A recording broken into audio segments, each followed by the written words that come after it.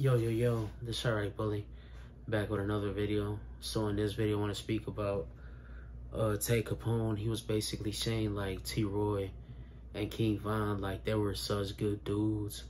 Um, he basically basically said like they still, like outside of that, uh, they still like, he said King Von will make people laugh and he'll just be happy and stuff like that. But uh, they would give their last to their homies, you know what I'm saying?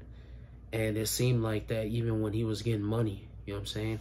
When he was getting money, it seemed like uh he never he never changed. Like he was still the same person. Like he he went back to his hood and stuff like that. And uh you don't see that no more, man. You don't you don't see people coming back to share with their people. You know what I'm saying? It's about nowadays it's about what you, what you could do for yourself and that's it. You know what I'm saying? Just get you and that's all you got to worry about. You know what I'm saying? It's not about it's not about that. You know what I'm saying? With with uh, a lot of people nowadays, like they won't share their last with you. You know, so it's kind of sad they're not here no more.